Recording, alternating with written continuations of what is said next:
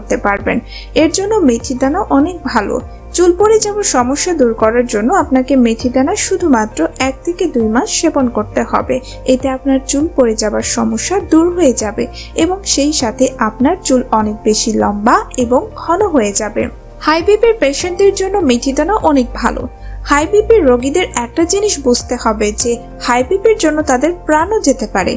High BP হচ্ছে silent killer high blood pressure আমাদের আর্টিসে ব্লকেজ তৈরি করে। হার্ট অ্যাটাকের ঝুঁকি বাড়ায় এবং মস্তিষ্কের শিরাকেও দুর্বল করে দেয়। মস্তিষ্কের শিরা ছিঁড়ে গেলে আপনার প্যারালাইসিসও হতে পারে। এই জন্য হাই বিপির চিকিৎসা করাটা অনেক গুরুত্বপূর্ণ। হাই বিপি ঠিক করার জন্য মেথি দানা অনেক ভালো। তো বন্ধুরা, এভাবে আপনি শুধু মেথি দানার মাধ্যমে আপনার বডি থেকে রক্ত স্বল্পতা দূর করতে পারবেন এবং অসংখ্য রোগকে সারাতে পারবেন। এগুলো তো অল্প কিছু রোগ ছিল যা আমি আপনাদের বললাম। যে কোনো রোগ আপনি